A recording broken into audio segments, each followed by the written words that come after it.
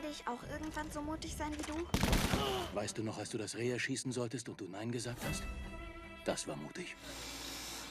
Wie kommst du voran? Es ist fertig, wenn sie 16 wird.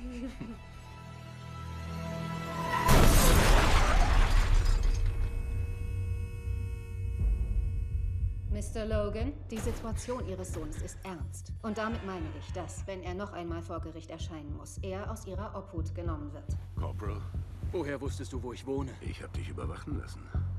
Ich brauch deine Hilfe, Kumpel. Ich bin nicht interessiert. Hast du die Sache mit Tony McManus vergessen? Ich hab das getan, weil du mein Bruder bist. Willst du jagen? Alles wie immer, Corporal. Ja, Sir. Ned, alles gut? Es ist nicht hier!